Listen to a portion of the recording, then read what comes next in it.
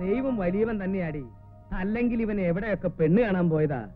അവസാനം വാഴക്കുളത്ത് പോവാനും വീട് മാറി തെക്കുന്തല തൊമ്മിച്ചന്റെ വീട്ടിൽ പോവാനും ആ പെണ്ണിനെ കണ്ടതും അവളെ ഇഷ്ടപ്പെട്ടതും ഒക്കെ കർത്താവിന്റെ നിശ്ചയമാടി. അതന്നെ. സത്യം പറഞ്ഞ ബ്രോക്കർക്കുള്ള കമ്മീഷൻ പകുതി എനിക്കാ തരേണ്ടത്. അതെന്തിനാ? ഈ ആലോചനയുടെ ഒരു സൂത്രധാരൻ ഞാനല്ലേ? എന്നാ എന്റെ പൊന്നുമോൻ ഒരു കാര്യം ചെയ്യും. ഈ ടെക്സ്റ്റൈൽ പരിപാടിയൊക്കെ ഒന്ന് നിർത്തി കല്യാണ ബ്രോക്കർ ആയിട്ടാണ് കൂടിക്കോ. അത് വേണ്ട. രൂപത്തിലും ഭാവത്തിലും ഒരു ബ്രോക്കറുടെ കട്ടുള്ളത് അപ്പച്ചനാ. അപ്പച്ചൻ തുടങ്ങിയോ പറയുന്നു. നിർത്ത്. എന്തോന്നായത് രണ്ടുപേരും കൂടെ കൂടിക്കഴിഞ്ഞാൽ ഒരുമാതിരി പിള്ളേരെ പോലെ. ഞങ്ങൾ സമ്മതിച്ചു. ഞങ്ങൾക്ക് നിന്റെ അത്ര പക്വതയൊന്നുമില്ല. ഞങ്ങൾ പയ്യന്മാരാ. എന്താടാ? അല്ല അതെ. ഇനിയിപ്പോ പെണ്ണിനെയും തറവാടും ഒന്നും അന്വേഷിച്ചിട്ട് ഒരു കാര്യവും ആ ഒരു കാര്യമില്ല പള്ളിപ്പെരുന്നാൾ കഴിഞ്ഞ ഉടനെ വിളിച്ചു വലിയ കല്യാണം ഒന്ന് നടത്താം. അതെ. അല്ലാതെ ഈ തിരക്കിനിടയിൽ എന്റെ കല്യാണ കാര്യം കൂടി ആലോചിച്ചോണ്ടിരിക്കാൻ സമയമില്ല. ഇല്ല? അതന്നെ. ഏതെന്നെ? എന്റെ ദൈവം ഈ അത് തന്നെയുള്ള ഏറ്റവും വലിയ കുഴപ്പം. കേട്ടോ ഏലിക്കുട്ടി. തോമാക്കുട്ടിയുടെ കൂടെ വീട്ടിൽ വരുമ്പം ഇതേപോലെ എന്തെങ്കിലും കാര്യങ്ങളൊക്കെ പറഞ്ഞ് എന്നെ ചിരിപ്പിച്ചോണ്ടേ ഇരിക്കും. ആ ഒരു കാര്യത്തിൽ മാത്രം മത്തായി കുട്ടിക്ക് ഒരു മാറ്റവും ഇല്ല. അതിൽ മാത്രല്ല. ഒന്നിലും ഞാൻ മാറിയിട്ടില്ല താണ്ടമ്മച്ചി. ഈ വസ്ത്രത്തിലും രൂപത്തിലും കുറച്ച് മാറ്റമൊക്കെ വന്നല്ലാതെ മനസ്സിപ്പോഴും പഴയ മത്തായിക്കുട്ടിയുടെ തന്നെയാ. ആ അതുകൊണ്ട് തന്നെ മത്തായിക്കുട്ടിക്ക് ഈ വെച്ചടി വെച്ചടിയുള്ള കേട്ടു അല്ല മത്തായിച്ച എനിക്കൊരു സംശയം. ഈ ബോംബെ ഡൈങ് ബോംബെ ഡൈങ് എന്ന് പറയുന്ന പോലെ കേരള ഡൈങ് കേരള ഡൈങ് എന്നുള്ളൊരു കമ്പനി പ്ലാൻ ചെയ്താ നല്ല പ്രോഫിറ്റ് ഉണ്ടാവില്ലേ? ഓ. എന്താ? ഏ ഒന്നുമില്ല. അല്ല വന്നപ്പോഴേ ചോദിക്കണമെന്ന് വിചാരിച്ചതാ. ഇങ്ങനെ ആരാ മനസ്സിലായില്ല? തോമാക്കുട്ടിയുടെ നേരെ ഇളയതാ. ബീനയുടെ കൊച്ചപ്പൻ. കുര്യച്ചൻ. ആ ഈ കുരിയച്ചന്റെ അനിയൻ ഡേവിഡ് ഇപ്പൊ എവിടെയാ? അവനങ്ങ് സിംഗപ്പൂരില. മനസമ്മതത്തിന് വരുമായിരിക്കും അല്ലേ ഇല്ല. മനസമ്മതത്തിന് വന്നാ പിന്നെ കല്യാണത്തിന് വരാൻ പറ്റില്ല. അപ്പൊ പിന്നെ ഞാൻ പറഞ്ഞു കല്യാണത്തിന് വന്നാ മതി അമ്മച്ചി പറഞ്ഞു മനസ്സിലായില്ലേ? മനസമ്മതത്തിന് വന്നാ കല്യാണത്തിന് വരാൻ പറ്റില്ല. കല്യാണത്തിന് വന്നാ മനസമ്മതത്തിന് വരാൻ പറ്റില്ല. കല്യാണത്തിന് മനസമ്മതത്തിന് കൂടി വന്നാ അയാൾക്ക് പിന്നെ പോകാനും പറ്റില്ല. അല്ല. ഇതാരാ? ഒളിച്ചു കളിക്കുക വന്നേ. നാളെ നീ ഞങ്ങളുടെ മരുമോളാകാൻ പോകുന്ന പെണ്ണല്ലേ? അത്ര അങ്ങ് മാണിക്കൊന്നും വേണ്ട. ഇങ്ങോട്ട് വന്നേ. കുഞ്ഞുനാളിൽ നിന്നെ ഞാൻ എന്തുമാത്രം ഒക്കത്തെടുത്ത് നടന്നിട്ടുണ്ടെന്ന് അറിയോ സംസാരിച്ചിരുന്ന സമയം പോയത് അറിഞ്ഞില്ല. ഇനി നമുക്ക് ഊണ് കഴിഞ്ഞിരുന്നു സംസാരിക്കാം. ബിസിനസിന്റെ കാര്യത്തിൽ എനിക്ക് വേറൊരു സംശയം കൂടിയുണ്ട്. ആ ഐഡിയ നമുക്ക് ഊണ് കഴിഞ്ഞിട്ടാവാം. കുറെ നേരായി ഞാൻ അടിയോളെ അവസാനം അങ്ങനെ കാഞ്ഞിരപ്പള്ളിക്കാര് കുറെ തിരുമുലുകാര് വന്നു. കുടിക്കാൻ എന്തെങ്കിലും പറയട്ടെ? ഏ ഇപ്പൊ ഒന്നും വേണ്ട. എന്താ പറഞ്ഞേ? കുടിക്കാൻ എന്തെങ്കിലും പറയട്ടെ എന്ന്? അല്ല ഞാനെന്താ പറഞ്ഞേ? ആ കാഞ്ഞിരപ്പള്ളിക്കാര് കുറെ തിരുമുലുകാര് അവിടെ വന്ന് കയറി ഞാനവരെ ഒതുക്കി രാത്രിക്ക് രാത്രി ഇനി കുറച്ചു നേരം ചേട്ടൻ ഇവിടെ തനിച്ച് സംസാരിച്ചോണ്ടിരിക്കുക ഞാനിപ്പം വരാം. ഏ?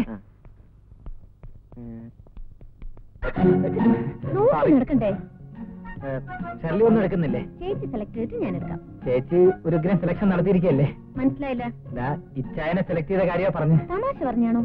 പകുതി തമാശയായിട്ടും പകുതി സീരിയസ് ആയിട്ടാ പറഞ്ഞു. എന്റെ അടുത്ത് വലിയ തമാശ വേണ്ട. സീരിയസ് മാത്രം മതി. അതാ എനിക്കിഷ്ടം. പിന്നെ കൂട്ടുകാരിയുടെ കട്ട് പീസ് മോഷണത്തിന്റെ കാര്യവും പറഞ്ഞ് ഇനി എന്നെ ബ്ലാക്ക്മെയിൽ ചെയ്യാൻ വരരുത്. അത് വളരെ ചീപ്പാണ് ഇതിനൊക്കെ ഉരുളക്കുപ്പേര് പോലുള്ള മറുപടികൾ തരാൻ എനിക്ക് അറിയാഞ്ഞിട്ടല്ല. പക്ഷെ വേണ്ട. അത് തന്നോടുള്ള സോഫ്റ്റ് കോർണർ അല്ല തന്റെ ചേച്ചിയോടുള്ള കൺസിഡറേഷനാണ് അങ്ങനെയുള്ള ഒരു കൺസിഡറേഷനും ആവശ്യമില്ല കേട്ടോ. എന്താ ഷെർലിയുടെ ഓരോരോ തമാശകളെ സമയം പോകുന്ന അറിയത്തില്ല. ഈ ഫലിത ബന്ധുക്കളിലെ സ്ഥിരമായിട്ട് ഒരു ഷെർലിയുടെ പേര് കാണാറുണ്ടല്ലോ. ആ ഷെർലിയാണോ ഈ ഷെർലി? അല്ല. അല്ല അത് ബുദ്ധിയുള്ള ആരെങ്കിലും ആയിരിക്കും. അടുപ്പി പാൽ വെച്ചിരുന്ന കാര്യം ഒന്ന് മറന്നു. അല്ല. എന്തിനാ ഇത്ര നേരത്തെ എഴുന്നേറ്റേ? കല്യാണം കഴിഞ്ഞാൽ എല്ലാരും വൈകി എഴുന്നേക്കൂ. ഇവിടുത്തെ ഏലിക്കൊച്ചമ്മ പോലും ഇപ്പോഴും എഴുന്നേക്കുന്ന ഏഴു മണിക്കാ. എന്നതാ മോളെ ഇവൾ പറയുന്നേ? ഇവൾ പറയുന്നൊന്നും മോൾ കാര്യമാക്കണ്ട. ഇവളെ വാപോയ വാക്കത്തിയ. രാവിലെ മോൾ കുളിയൊക്കെ കഴിഞ്ഞോ. എന്നിട്ട് തന്നെ അങ്ങ് മാറി നിൽക്കുന്നേ? ഇങ്ങോട്ട് വാ. ഇനി ഇവിടുത്തെ കാര്യങ്ങളൊക്കെ നോക്കി നടത്തേണ്ടത് മോളാ. തങ്കച്ചിനുണ്ടേ കൊടുക്ക്. അവൻ എഴുന്നേറ്റോ? ഇല്ല. വലിയ ഉറക്കക്കാരനാ. എന്നാ ഇത്ര ഞാൻ ഓരോന്ന് ആലോചിച്ച് ചിരിച്ചു പോയതാണേ. അയ്യടി അങ്ങനെ ഇപ്പൊ ഒന്നും ആലോചിക്കണ്ട കേട്ടോ. ആ അരിപ്പൊടി എടുത്തോന്ന് നനച്ചേ. അയ്യോ ഞാനും അതാ ഇപ്പൊ ആലോചിച്ചേ.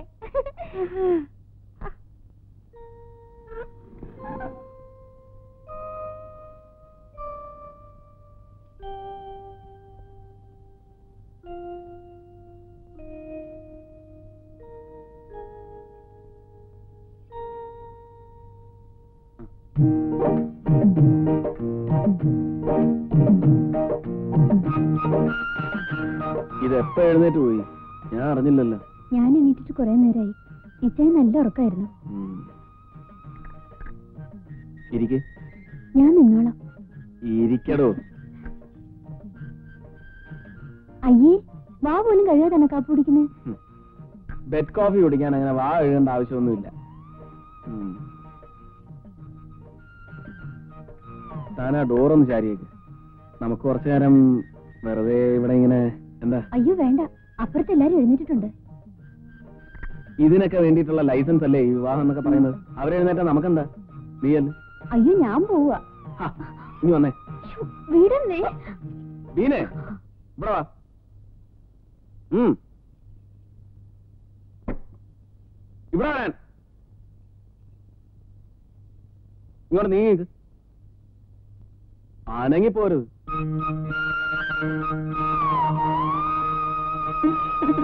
ഇനി ഇടയ്ക്കൊക്കെ ഫ്രീ ആകുമ്പോ ഇതുപോലെ ഇങ്ങോട്ട് വരണം.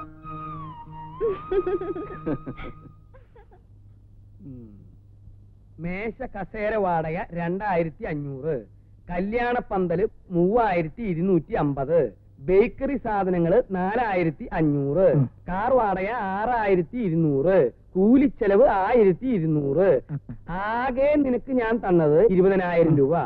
ചെലവായത് പതിനേഴായിരത്തി അറുന്നൂറ്റി അമ്പത് രൂപ.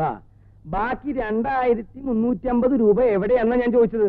അതങ്ങാ നിന്റെ പോക്കറ്റിൽ ഉറങ്ങി കിടക്കുന്നുണ്ടെങ്കിൽ അതങ്ങ് എടുത്തേ. അത് പിന്നെ അപ്പച്ച ഈ കസേര മേശ എഴുതിയോ? ഈ മേശ കസേര എന്ന് പറയുന്നതാണല്ലോ കസേര മേശ. ഇതിൽ തന്നെ ഒരുപാട് കള്ളക്കണക്കുകൾ എഴുതിയിട്ടുണ്ട്. അതെനിക്ക് അറിയാഞ്ഞിട്ടല്ല. അതുകൊണ്ടാണ് ഞാൻ ചോദിക്കുന്നത് മോനെ രണ്ടായിരത്തി മുന്നൂറ്റമ്പത് രൂപ എവിടെ? രണ്ടായിരത്തി മുന്നൂറ്റി അമ്പത് ആ ആലോചിച്ചിട്ട് പറഞ്ഞാ മതി. കല്യാണം കഴിഞ്ഞിട്ട് ഒരാഴ്ചയായി. ഇന്നാണ് അവ കണക്ക് കൊണ്ടുവരുന്നത്. അപ്പച്ച അപ്പച്ചൻ തന്ന ഇരുപതിനായിരം രൂപയാണെന്ന് ഉറപ്പാണോ? അതോ പതിനേഴായിരം രൂപയോ? അടി വെച്ചല്ലോ ഞാനൊരു സത്യം പറയട്ടെ? എടാ വല്ലപ്പോഴെങ്കിലും ഒരു സത്യം പറ. കേൾക്കാനുള്ള കൊതിയുണ്ടാ? അപ്പച്ച ഇച്ചാന് കുറെ കൂട്ടുകാരല്ലേ? ആ കൂട്ടുകാർ പാർട്ടിക്ക് വരുമ്പോ അവരുടെ ചെലവിൽ മദ്യം വാങ്ങിച്ചുകൊണ്ട് വരാന്ന് പറഞ്ഞു. ഞാൻ പറഞ്ഞു അങ്ങനെ അവരുടെ ചെലവിൽ മദ്യം വാങ്ങിച്ചുകൊണ്ട് വരികയാണെങ്കിൽ അതിന്റെ ക്ഷീണം ഇന്ത്യക്കാരൻ മത്തായിക്കാണെന്ന്. അതുകൊണ്ട് ഞാൻ കുറച്ച് മദ്യം വാങ്ങിച്ചു. അങ്ങനെയാണ് ഈ രണ്ടായിരത്തി മുന്നൂറ്റി അമ്പത് രൂപ ചെലവായത്. എടാ നീ പറഞ്ഞത് നേരാണോ? എന്താണ് അപ്പച്ച? നിന്റെ കൂട്ടുകാർക്ക് മദ്യം മേടിച്ചു കൊടുക്കണമെന്നും പറഞ്ഞ് എന്റെ കയ്യിൽ നിന്ന് രണ്ടായിരത്തി മുന്നൂറ്റമ്പത് രൂപ മേടിച്ചു. അപ്പച്ചന്റെ കൂട്ടുകാർക്ക് മദ്യം വാങ്ങിച്ചു കൊടുക്കണമെന്നും പറഞ്ഞ് അവൻ എന്റെ അടുത്ത് നിന്ന് ആയിരത്തി അഞ്ഞൂറ് രൂപ വാങ്ങിച്ചല്ലോ? ഇവന്റെ തന്നെ കൂട്ടുകാരെ സൽക്കരിക്കാനാണെന്നും പറഞ്ഞ് എന്നോടും വാങ്ങിച്ചല്ലോ രണ്ടായിരം രൂപ. എടാ അതെ ഞാനൊരു കാര്യം പറയാം. കല്യാണം ജോറായിട്ട് നടത്തണമെങ്കിൽ കുറച്ച് കാശ് ചെലവാകും. അതിന് അപ്പച്ചനെ പോലെ വെറ്റില ഏഴ് രൂപ പതിനഞ്ച് പൈസ അടയ്ക്ക് ആറ് രൂപ മൂന്ന് പൈസ ചുണ്ണാമ്പ് പത്ത് രൂപ പത്ത് പൈസ എന്ന് എഴുതി വെക്കാൻ പറ്റില്ല. ഇതിനെയാണ് ജനറേഷൻ ഗ്യാപ്പ് എന്ന് പറയുന്നത്. അയ്യടാ ജനറേഷൻ ഗ്യാപ്പാ കാശിന്റെ കണക്ക് ചോദിക്കുമ്പോ ജനറേഷൻ ഗ്യാപ്പ് എന്ന് പറയാ? മേലിൽ ജനറേഷൻ ഗ്യാപ്പ് എന്ന് പറഞ്ഞിട്ടുണ്ടെങ്കിൽ അടിച്ച് നിന്റെ മൂന്നര എനിക്ക് വരണം. എന്റെ ദൈവമേ തങ്കച്ച. ദേ ഈ കാശ് ചെലവാക്കണ കാര്യത്തിൽ അപ്പച്ചന് ഒരു ബുദ്ധിമുട്ടില്ല മോനെ. പക്ഷേ നോക്കിയും കണ്ടും ചെലവാക്കിയില്ലെങ്കിൽ ഞാൻ സമ്പാദിക്കുന്നതൊക്കെ വെറുതെ ആയി പോവില്ലേ? അപ്പച്ച അപ്പച്ചന്റെ വികാരം എനിക്ക് ഒന്ന് പോടാ. നിന്നെ കൊഞ്ചിച്ചു കൊഞ്ചിച്ചെന്റെ അല്ല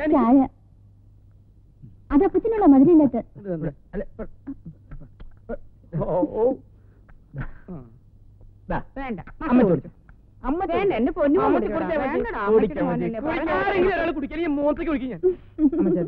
ആ. നല്ല ഐശ്വര്യമുള്ള കുട്ടി. ആര്? നമ്മുടെ മരുമോളെ. ആ. അവൾ ഈ വീട്ടിൽ വന്നത് തന്നെ നമ്മുടെ ഭാഗ്യവാ. ഞാൻ എഴുന്നേക്കുന്നതിന് മുമ്പ് വീടൊക്കെ അടിച്ചു വാരി കുളിയും കഴിഞ്ഞു. അടുക്കളയിലേക്ക് വന്നു നോക്കിയേ. കാപ്പിയും പലഹാരവും ഒക്കെ റെഡി ഇപ്പൊ ഞാൻ ഒന്നിനും ചെല്ലേണ്ട ആവശ്യമില്ല. പിന്നെ നിങ്ങൾക്ക് കഴിക്കാനുള്ള മരുന്നിന്റെ കാര്യം വരെ അവൾ എന്നോട് ചോദിച്ച് മനസ്സിലാക്കി വെച്ചിരിക്കുക മരുമക്കളെ തെരഞ്ഞെടുക്കുന്ന കാര്യത്തിൽ മത്തായിക്ക് ഒരു തെറ്റും വരില്ല. ഇനി ഒരു മരുമോളും കൂടെ ഈ വീട്ടിൽ വന്നു കഴിഞ്ഞാ പിന്നെ അമ്മച്ചിക്ക് ചെയ്യാൻ ജോലിയേ ഉണ്ടാവില്ല. എന്താ ചെയ്യല്ലേ?